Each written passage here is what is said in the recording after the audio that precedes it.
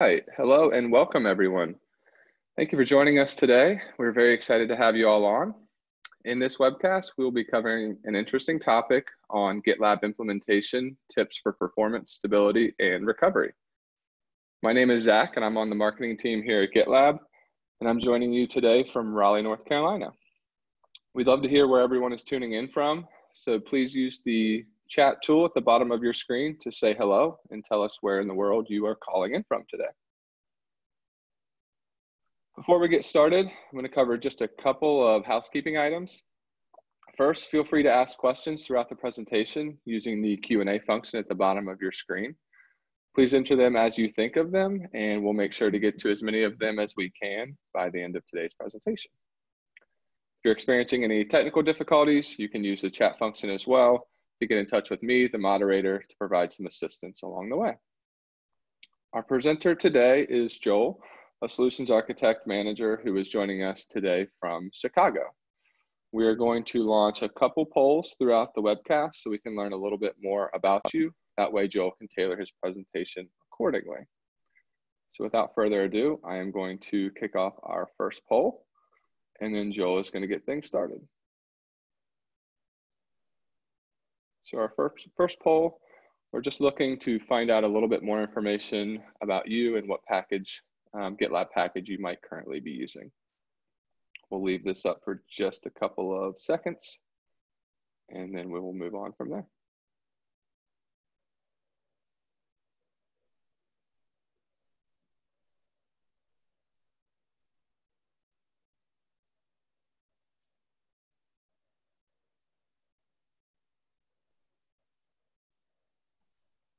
All right, Joe, it looks like we've got a pretty even mix of non-users, free core users, and bronze and starter users. So without further ado, I'll let you go ahead and um, continue our presentation. All right, thanks, Zach.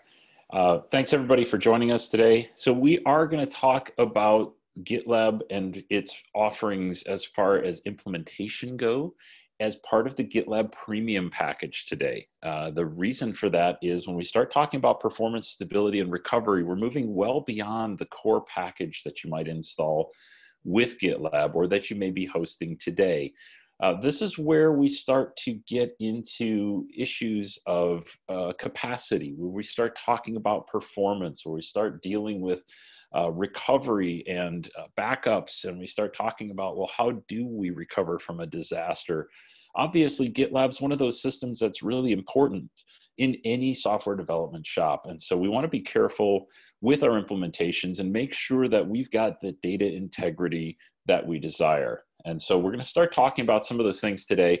Uh, as we get into this, uh, we're going to specifically focus on two areas, one being GitLab Geo and one being GitLab High Availability. Now, these topics are uh, going to we're going to talk about kind of where you start and and what they do. We're going to talk about some tips uh, as you're rolling it out some things to think about. And uh, we're going to get into not only the the what and the why here but we're also going to give you some some basic uh, outlines for a rollout. So you can see here uh, what would it look like on aws what what products should you use? If you've got a thousand users today how many users should you uh, or how many different nodes should you deploy for those users and even some common problem resolutions. I'll give you a few examples from some outages that I've actually been a part of and what it took to resolve those.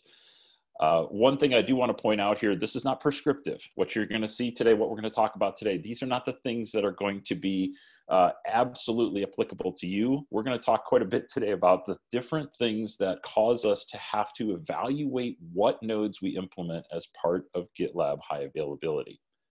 So with that, let's jump into just a quick why. You know, why do we talk about this stuff? Conservatively, if you had a thousand developers at 65 bucks an hour, okay, and that is a very conservative number. Um, any eight hour outage, any day long outage generates a half million dollars in revenue loss. That's a productivity loss right there. Uh, that by itself may seem like a huge number, and you might scale it back and say, well, shoot, I'm only 10% of that. That's still 50K. Uh, the, the idea here, though, is that one day of downtime can exceed the cost of the purchase of the product, right? So you bought GitLab, now the outage day costs you more than that. This, by the way, is something I've seen at least four times in my duration here at GitLab. And I've been around a couple years, but I've been part of this where entire enterprises went down for days at a time. It wasn't GitLab, it was the way that the product was architected to host on on premise. Okay, so that's why we're talking about this topic today. It is absolutely an avoidable thing, and I hate for any of you to be here. So let's start with, with GitLab Geo. Uh, and, and, based on the poll that we ran earlier, uh, I'm assuming that most of you are not running Geo. Uh, however, Zach, if you wanted to add that poll just to see if anybody is using this today, that would be great. Uh, so just a question on how you're doing basically disaster recovery today, if anybody's doing that. So GitLab Geo, why do we talk about GitLab Geo? I talk about this first because a lot of people jump from the idea of the core package of GitLab, a simple installation, a single node installation, into the high availability structure right away. And they go right by GitLab Geo. GitLab Geo is one of my favorite things. Okay, this is the thing where if the red dot on this map is your primary node, you can roll almost identical geographically distributed nodes of GitLab into the other locales. These are the orange dots that you see here.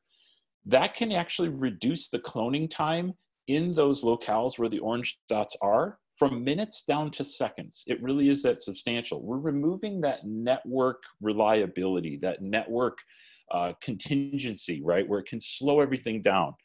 Uh, and it also is balancing our user load. So if you think about the simultaneous user load, when we start distributing into those geographically dispersed nodes, we're now taking some of that user load off of the primary server. Now, as part of that, once we do this, this also becomes our fastest path to disaster recovery. If you look at the GitLab documentation, disaster recovery is best sponsored by a GitLab Geo node. So if you think about it, if the red dot is now, um, let's say it's continuously synchronizing with the dot in New York, that is a secondary node.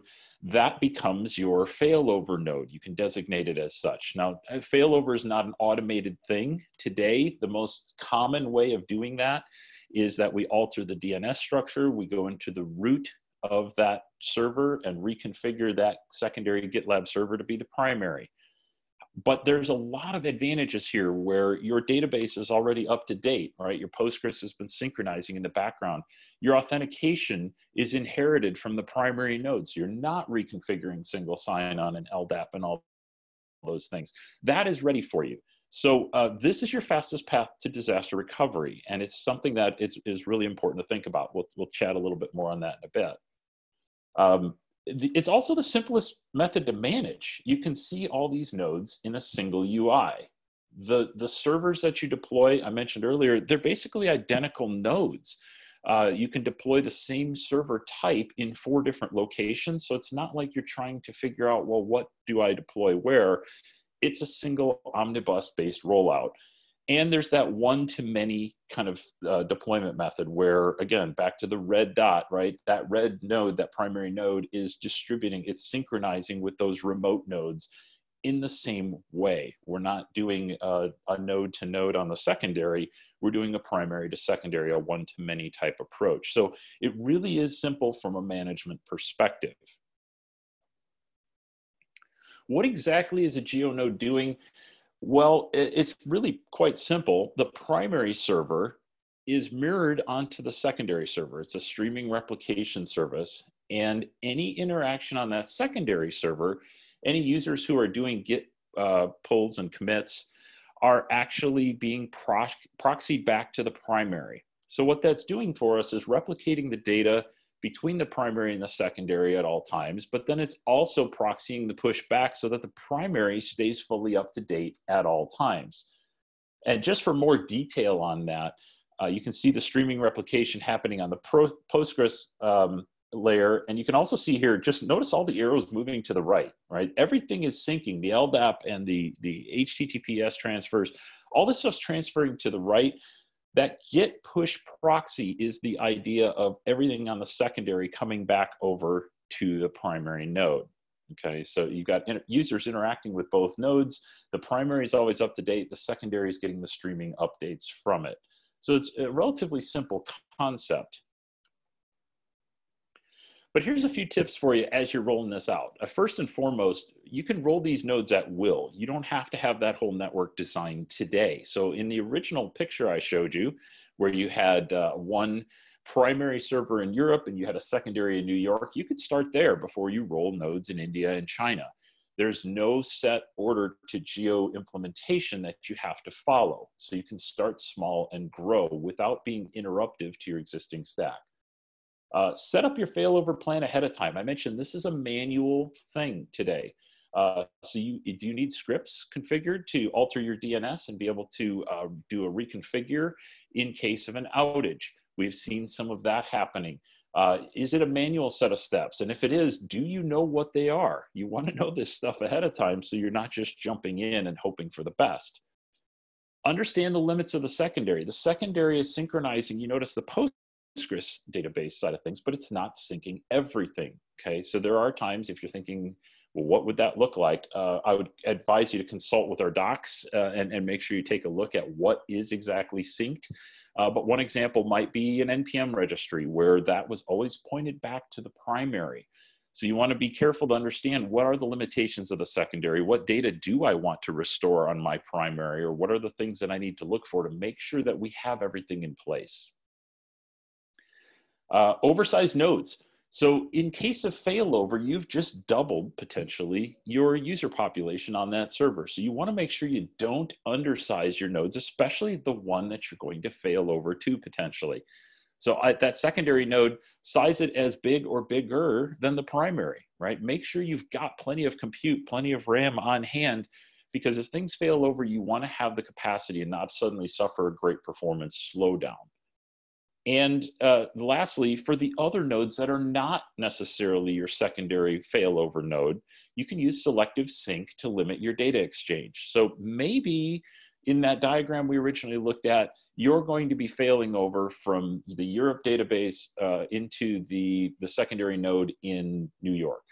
But the, the instances that you have in China and in India maybe those are only selective. You've got one group of projects or, or specific set of projects that you want to sync. Uh, and, and, that really helps out, of course, from the network perspective. You don't have near as much streaming traffic as it's replicating and pushing back and forth between the primary and the secondary. So it creates a, an efficiency model that you want to look for.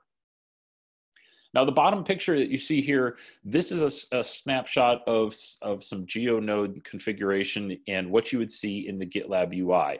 You see, you can see the health and the status of the secondary node, what's, what's actually occurred, what hasn't occurred, any problems we've had replicating the data between the primary and secondary servers.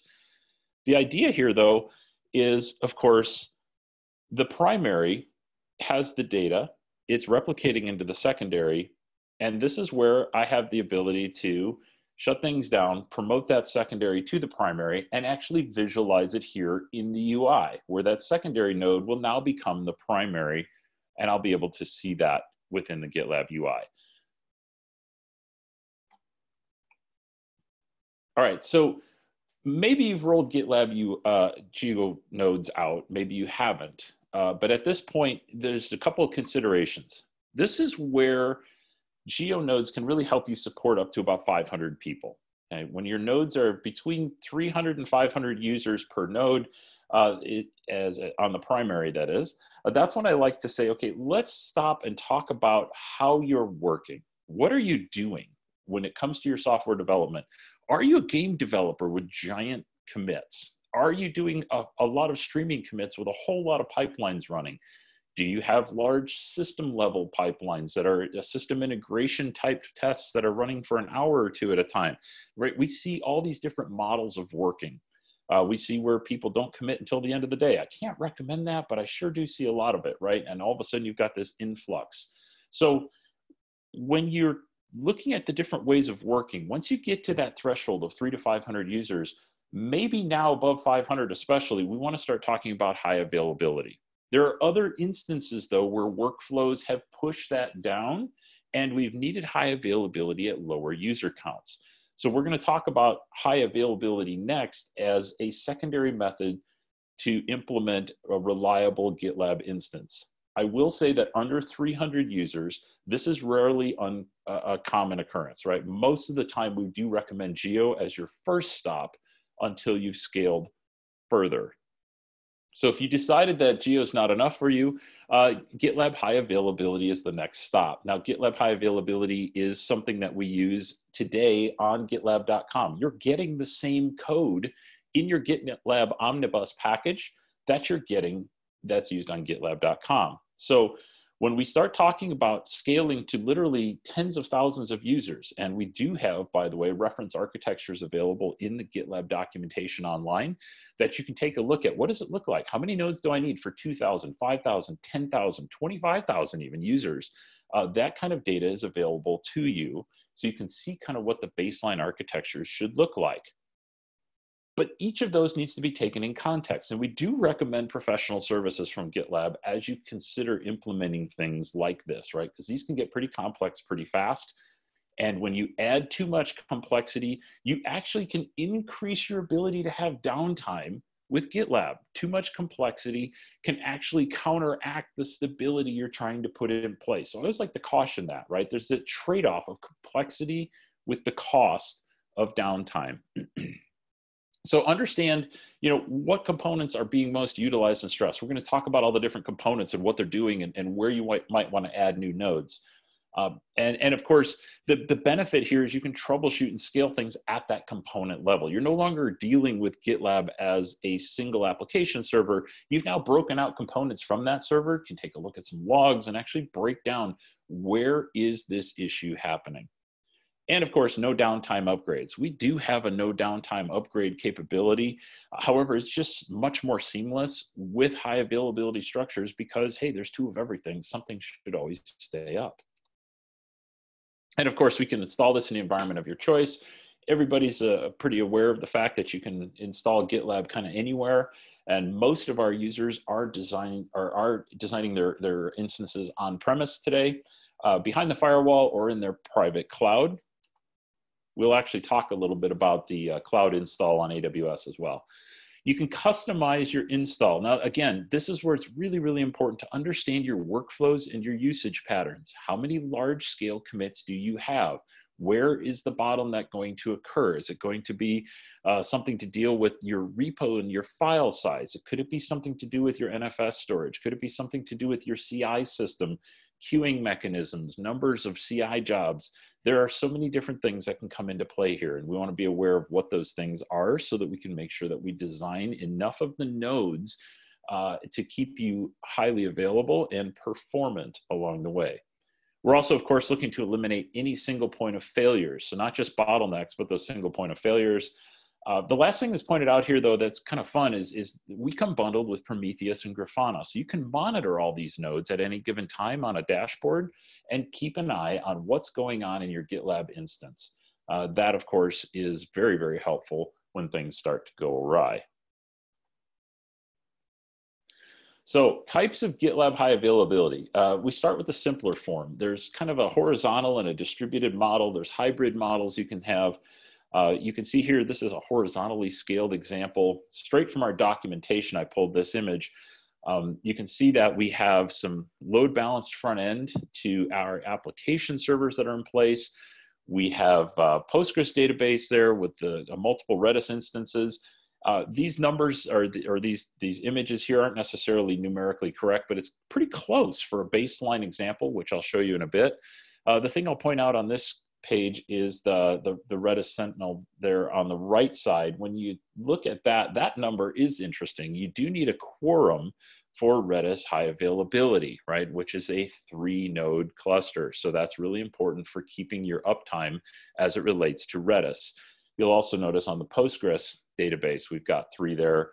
Again, these numbers are not uh, in place for, for a design guideline, uh, but they are fairly accurate for what you may want to roll in a horizontally scaled approach for up to your first thousand users. So what changes when we go beyond this into a more highly available, larger user base supporting structure? Well, we get into what we call our distributed model, and you can see here now NFS has become redundant. By the way, let me touch on that real quick. NFS by itself is, is not something that GitLab provides any redundancy on. Redundancy on. That is something that uh, the vendor of your NFS solution is going to provide. So you want to know how to take advantage of that. Uh, so, so that's one thing I do want to point out. From a, a load balancing perspective, obviously it's the same thing. But in this case, the distributed model, the thing that's most important is we start breaking out that application server. So in the last uh, image, what you saw was the application servers were kept whole. Here we're starting to break out the components of the application server. In particular, what's noted here is just some Sidekiq queues. Sidekiq is a queuing mechanism that controls just how much traffic is going to be um, uh, controlled and queued up for various functions. So if you think about it from the perspective of the CI pipelines, okay, this is one thing that I see pretty regularly.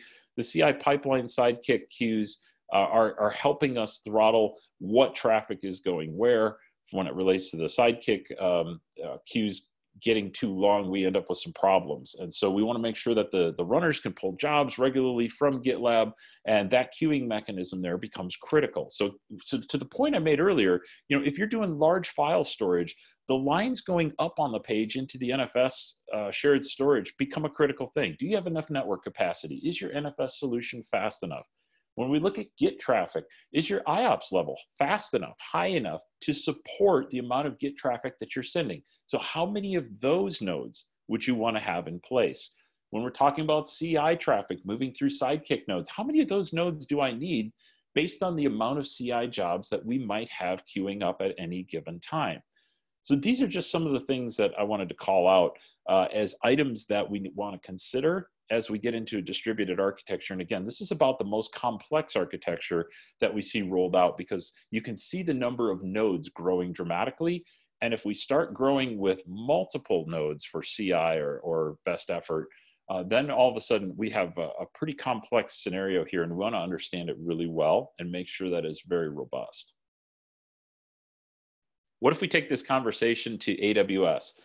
Well, from a components perspective, uh, let me pause here a minute. We've been talking about our Omnibus package a lot.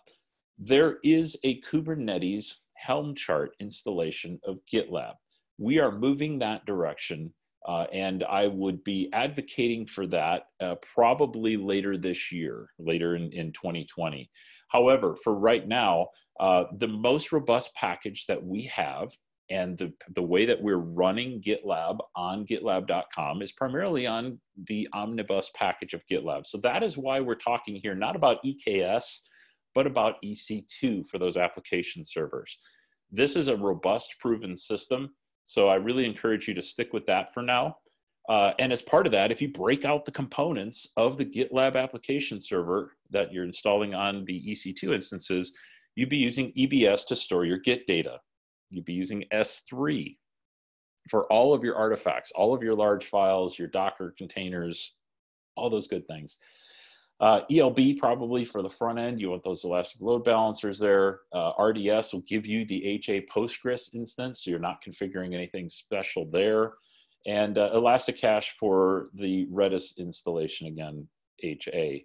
Um, the the thing, uh, the reason we're going and talking about the AWS install in particular is when we see a non local install of AW uh, of, of GitLab, we talk about the cloud install of a private cloud.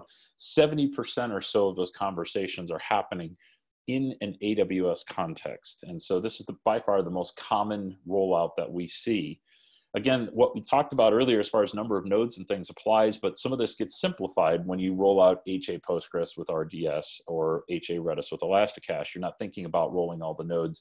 That's taken care of in the background by AWS, simplifying your rollout.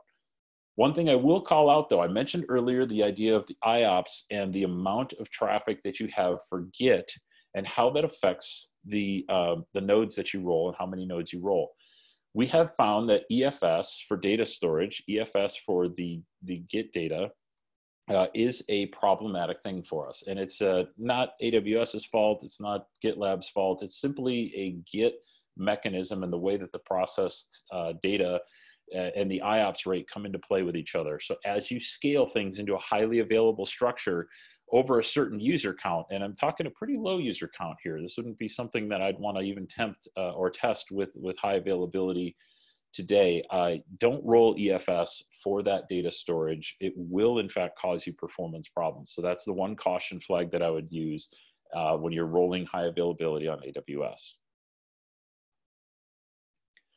The application architecture here, we've talked about a lot of these things already. Uh, part of the reason I wanted to call this up is just to point out the ports that we've got to interact with this. So you see there's three open ports, 22, 80, and 443.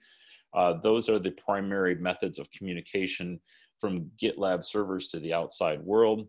Uh, you can also see on this page, there's a number of lines coming out of the Unicorn and the Gitaly workers. And, and those two workers uh, are, are really important as far as understanding the flow of Git data and the uh, interaction with storage and with the database. So those two components are pretty important. You'll see us focusing a lot more on Gitaly as we go forward as an option to do storage of data to replace NFS. Uh, that is something that we've we've been working on, and uh, it's it's shortly, hopefully, going to be a high availability function that'll allow us to fully replace NFS requirements. That is a common question we get as well.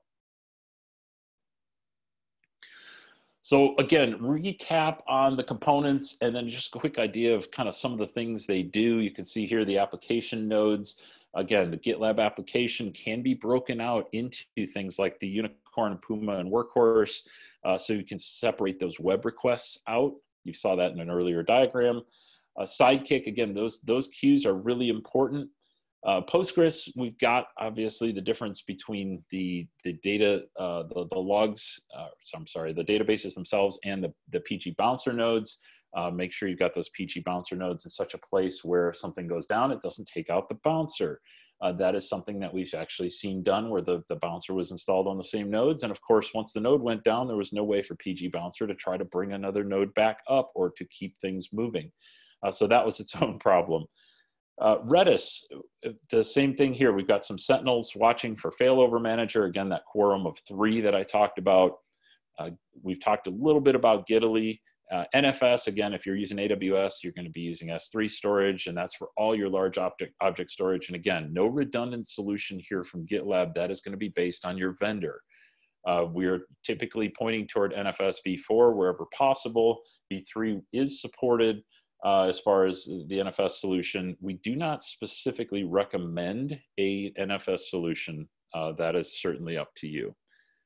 Load balancer, uh, we talked a little bit about ELB and the AWS side of things, but uh, we commonly use HA proxy. It's also what GitLab uses here on gitlab.com. So we see that commonly rolled as the front end proxy for high availability systems. And of course, the monitoring nodes I talked about. Now, for anything to be highly available, there are going to be some core components that are really important. And that is going to make, uh, that is where those asterisks come into play, right? Sidekiq, Postgres, NFS, and the load balancer uh, are, are things that are really going to be critical to keeping you move forward. Notice there's not one on the application nodes, which, which is uh, first thing that somebody asked me about when I put this together. Uh, and, and the reason is if your load balancer is working correctly and you've sized everything correctly, the application nodes will typically suffer less than your Sidekiq configuration or Postgres misconfiguration of some kind. Uh, if those other items are misconfigured, then your application nodes will act up. But more commonly, the problem is where the asterisks are. And we'll talk a little bit about that here in just a second. So one other thing I want to talk about too is, is just the whole idea of persistent versus ephemeral components. What are the components where they're saving state and user information? And what are the components that we can recreate at will? Because we're talking here about highly available uh, disaster recoverable type systems. So when you talk about things with saved state or saved user information, things where we want that data to persist, of course, we're talking about the data uh, base itself, and we're talking about the Redis caching system, which is saving some of that user info. Uh, it's queuing and caching th that data up. There's also the file system. We don't want to lose any Git data, and we want our object storage to not lose any data, right? These are the persistent components. From an ephemeral perspective or a temporary perspective, we can always spin up a new application server or any of its components, front end or back end, and of course, from an external services perspective, if the load balancer, the networking is affected, we don't have a data integrity situation. And so that's kind of the way this breaks out. But I like to point this out to people so you know that, you know, if you do need to spin a new application server, you can do so without affecting the file system that you're trying to access behind it. And uh, that's something that we get common questions on. So what does all that look like if you just have a simple horizontal scale for a thousand nodes? Uh, well, or a thousand users, I'm sorry. It looks like about 14 nodes. These 14 nodes are uh, as listed here. Now, again, if you access our documentation, you can actually see what these systems would look like and what we recommend for 2,000, 5,000, 10,000 users, etc. Uh, the, the thing here, uh, what, the way that we size this is for support per user of things like, um, you know, how many Git interactions? Can we do 10 plus API replies per second?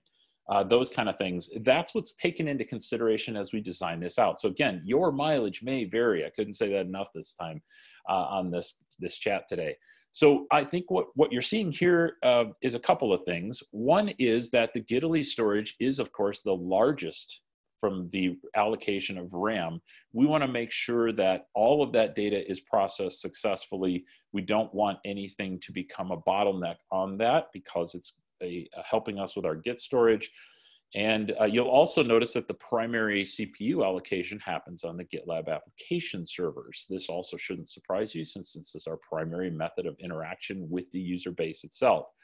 Uh, you can see that some of the other uh, components can be pretty small, uh, but there's a fairly sizable allocation here when you're talking about 14 nodes and this number of CPUs and RAM uh, into your ecosystem. So you wanna make sure that you're well prepared for uh, rolling out a high availability system with GitLab. Okay, a couple quick notes on some common HA problems. I told you earlier on I was part of some uh, production recovery efforts uh, in the past. And uh, we'll talk about just three of them here and then uh, open up for any Q&A you might have. But from the HA problem perspective, if your Git commits are slow, if your overall GitLab performance is lagging, if it feels like, my goodness, uh, shouldn't we be moving faster than this? Yeah, you probably should, right? If you can feel it, it's not right. So the questions, again, are back to your workflow. How many commits? How many large commits, large file commits? How many users do you have? We've seen people try to scale up to thousands of users on a single omnibus node it's not built for that. You're going to run into problems, I guarantee you. Uh, and from that perspective, then, first things first, try doubling up the RAM and the CPU on your GitLab solution, on your application server. That's the first thing I would try. And if that's not working, you can always add GitLab application servers because, again, those are ephemeral components. They can help you with that capacity. I noted up front the asterisk on the, the uh, load balancer component, right? If the load balancer is not doing the work correctly or if it's getting overloaded, it's going to slow things down before you ever get to the application server. More commonly though, when I see this problem, it is related to the GitLab application servers and their configuration. They're being overloaded by the users and or the number of uh, interactions with those servers. So that's the first thing that I would look at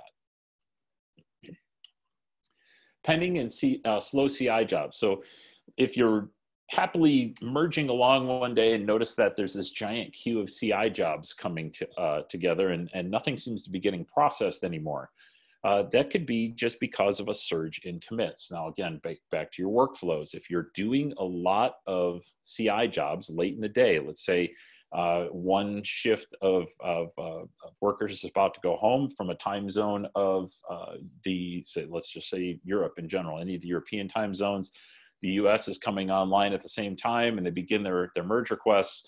You've got anybody making a bunch of commits at the end of the day and anybody who's starting a bunch of merge requests at the beginning of their day clashing at once. Are you prepared for that capacity? Because too many jobs can create that pending pipeline uh, backlog. And of course, the, the, the answer there is typically Sidekiq, though we've seen some times where we add more Puma nodes to help with that.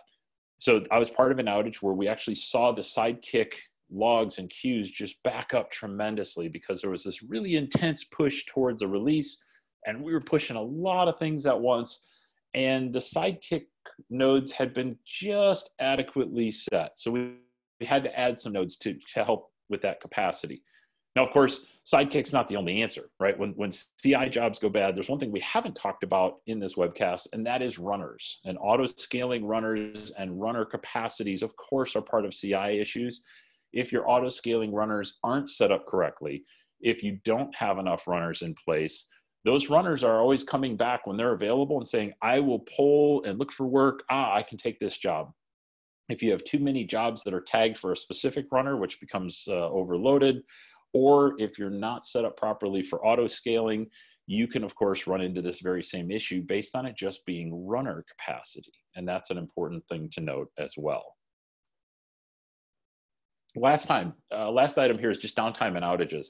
I get asked regularly uh, by people who've asked me, said, well, GitLab's not performing well for us. We have to restart this thing on a weekly basis, or we've, we've got this problem where it goes down. That is not a normal situation. I just want to get that out there. You may be used to that with tool sets that you've used over the years. Uh, GitLab is not that product. So if you're losing performance over time or it's going down entirely, we have a different issue that's in play. We want to start by reviewing the logs and just seeing what is going on in the system. We want to double check the networks. We want to double check the load balancers.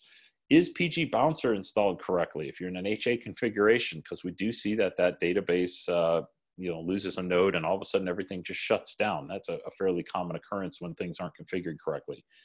But uh, I just want to point out that's definitely not a common occurrence.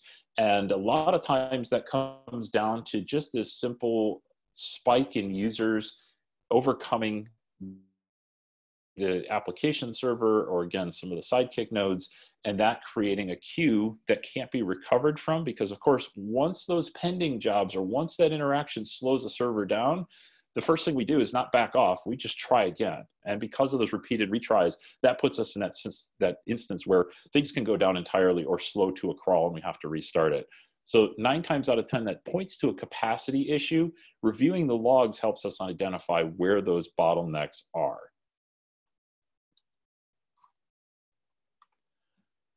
All right, so real quick, some of the things we chatted about today, GitLab Geo, part of GitLab Premium, high availability, part of GitLab Premium. Uh, one thing we didn't mention is as you roll those out, you do get live upgrade assistance from GitLab support. We release monthly, which means you can have live upgrade assistance on a regular basis from GitLab support. Uh, a lot of folks really enjoy that capability and, uh, and, and rely on that. We also have priority support that comes with GitLab Premium. So if you're not using that today, you get a four hour SLA, but notice also the 24 seven priority support where our, again, our support folks can jump on with you and help diagnose your high availability uh, constraints and, and concerns and, and downtime. Uh, we want to make sure that that's not something that happens for you. Uh, again, professional services helps tee this up really, really well uh, as part of that, we want to make sure you've got a fully supported and and uh, significantly structured high availability. Because without that, of course, now we're trying to debug. Well, what did you set up for high availability? We want to help you vet that system before we have to support it. I mentioned Elasticsearch briefly on the AWS side of things. Uh, that is part of our starter offering, so it's uh, readily available. And then, of course, GitLab TAM support. So uh, with a certain number of users or a certain uh, value to your GitLab contract, uh, and it's a, it's fairly low value, by the way. You do get a high value GitLab technical account manager to help you. We want to keep you growing and healthy in your usage and adoption of GitLab. And this is something often overlooked. There's no extra cost to this, uh, but this is a live person from the customer success team who will work with you to make sure you're aware of the new functionality that's coming out work with you on product and, and feature issues. Uh, we'll, we'll also, you know, make sure that you have a uh, healthy approach, not only to your availability of your systems, but also to your system usage. Uh, so these are all part of the GitLab Premium offering that we've been discussing today. And I want to pause now uh, and just see if there's any questions. Uh, it looks like we do have um, one question, and that is a question about looking into GitLab high availability for not for performance reasons, but business continuity guarantees. Uh, what would we recommend in this case? Not necessarily needing multiple geographic locations. Um, so there's two things there. Uh, one is you probably still want to consider GitLab Geo. Um, and, and, and, the reason I say that, the, the node doesn't have to be geographically distributed to provide you that continuity that you're looking for. When you're close to 100 users, you're still very much in the mode of, of trying to keep things simple. Um, when you roll high availability, you will certainly have a lot more um, uh, you'll have a lot more complexity to your system to contend with, and it takes a lot more time from an administrative perspective as well sometimes uh, to keep up with. So I would say you still probably want to consider rolling a localized uh, geo node of some kind. Uh, if you have to go high availability uh, because you um, are a real time, I'm trying to think here, you know, you've got uh, a really high interactive system that has a 24-7 requirement to it or something like that, uh, we would look at that baseline high availability structure that we talked about earlier, kind of that 14 nodes or so, um, because you know the, when you get into the high availability pieces, Redis and Postgres alone kind of forced you to to go into um, that that multi-node consumption, right? You start getting into I need six different virtual machines and that kind of thing uh, just to to start that process. So I think that's it. That cost complexity and um, uh, the the trade off between the two that we need to evaluate. And again, your mileage may vary depending on what your workflow looks like. So I think that would be um, the, the difference there. And, and you may need to consider high availability if you're on that 24 7 constant interaction versus a geo node. Uh, it looks like we have one other question about rate limiting values because um, we've seen some seen some on-premise installations being hammered by automated API requests, which hurts real users. Absolutely agree. Uh, we have the same issue on GitLab.com as you can imagine, um, and so we do limit uh, the API's uh, access on GitLab.com. Now, it, it really is going to depend on your architecture and how much it can support, right? So if you've rolled high availability, uh, you're able to say, well, I can throttle that at say maybe 40 requests per second or something like that. Uh, the reality is a lot of times that we see that rolling at 10 or maybe 20 so that it's not just totally beaten up um, and it comes to requests per second because otherwise we've seen them you know jump immediately over 100 and of course that starts to create some issues uh, so we want to be careful with that one especially. That rate limiting component is really going to depend on how many nodes you have available. If you have a single node in place uh, obviously you want to keep that number very low. When you get into the high availability structures, I would advise you to take a look at our GitLab implementation docs where we do have those structures of uh, the 2000 5000 10000 you can actually see there what we recommend as kind of the average uh, api um, response per second as part of those rollouts. And again i think you'll see some of those numbers are in that 10 20 40 range uh, because we know that we hit problems when we double some of those numbers